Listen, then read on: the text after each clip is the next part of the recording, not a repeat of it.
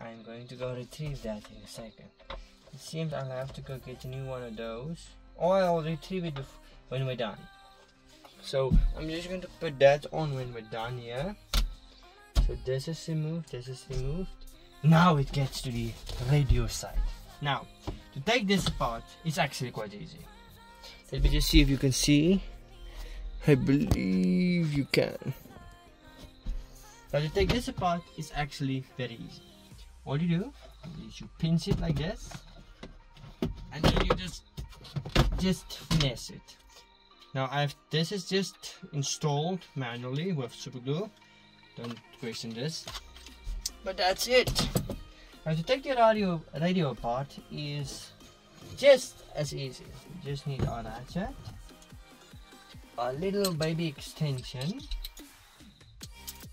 and